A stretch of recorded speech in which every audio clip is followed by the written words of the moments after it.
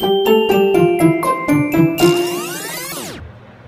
backstage at Laurie Beechman Theater, aka The Toilet, and who do I run into but the goddess Joey Arias? Oh my gosh, Sherry, how are you? My God, I'm good, baby. How are you? I'm so excited. This is like what our Oh my one god, someone's show. knocking on your toilet door. Yeah, you're right. Yes? Uh, we're rolling. Okay, we're gonna come out right at the end of the song. Great. And you want me to announce you?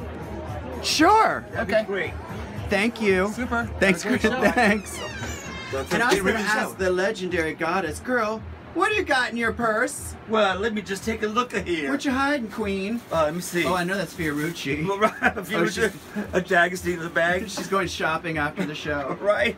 And a baseball hat, Jurassic Park. That's for all the old Honey, bitches You're out the there. original Jurassic Park. Okay, right, and that's what I got in there right now. Those gloves are gorgeous. Thank you. I know got- you got those, honey. Rome, Yes. the Spanish Steps. Rome. I know that place. Hello, oh my God, Miss Sherry, you're the best, and I love you so much. I love you, Mama. And everybody's watching this, please pull your pants down and play with yourself. That's my holiday wish. In her Fiorucci, vintage Fiorucci denim purse. Head out. You're That kind. shiver game.